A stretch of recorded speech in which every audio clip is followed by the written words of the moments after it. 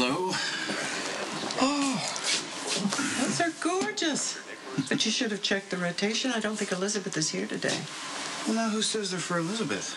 Oh, that is very sweet of you. Thank you. Mm, if this is a build up to asking me out, the flowers really weren't necessary. I don't have time to waste playing hard to get. you know, you remind me a lot of my, my late wife, Emily. She faced cancer with the same grace and strength that you show. She wasn't quite as funny as you, but she always had the same positive outlook. And she, too, loved flowers. Well, she had excellent taste in men. You're a true gentleman. And I have to admire your persistence. I adore Elizabeth, but she is doing everything in her power to freeze you out, and yet here you are again, back for more. I know. I guess I'm just a glutton for punishment, aren't I? What are you doing here? Uh, bringing Shirley flowers? Why? Do you really expect me to believe that? Mmm. Nice work on these eggs, man. Just the way I like them. Good. Yeah, it's probably about the only thing I remember how to make. Really? Yeah. That surprises me when we were in Canada. With the diner, mm-hmm. you were well on your way to becoming a first class short order cook. Well, it's probably all in there somewhere, but I've just been so busy with work lately. I usually just get takeout or order pizza when the kids come over.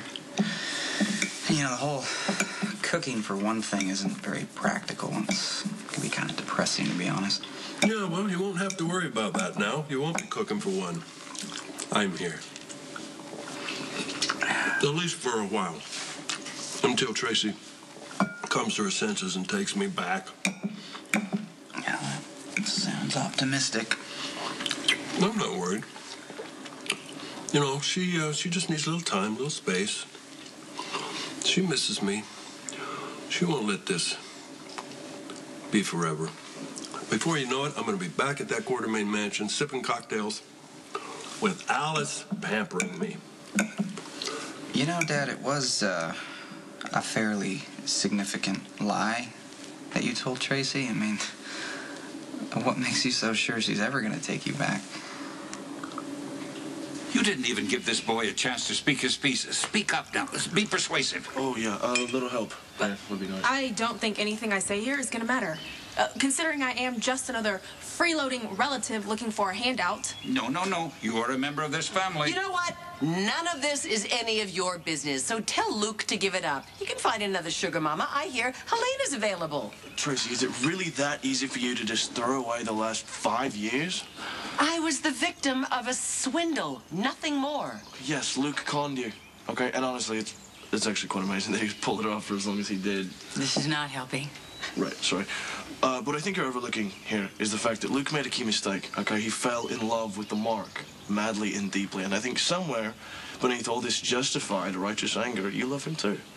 Okay, so all Luke wants to do is marry you legally, right? And f- for the sake of his happiness and for yours, A- and uh, and ours especially. yes, and ours, please just take him back. Not a chance. I'm finally free of him. And I've never been happier.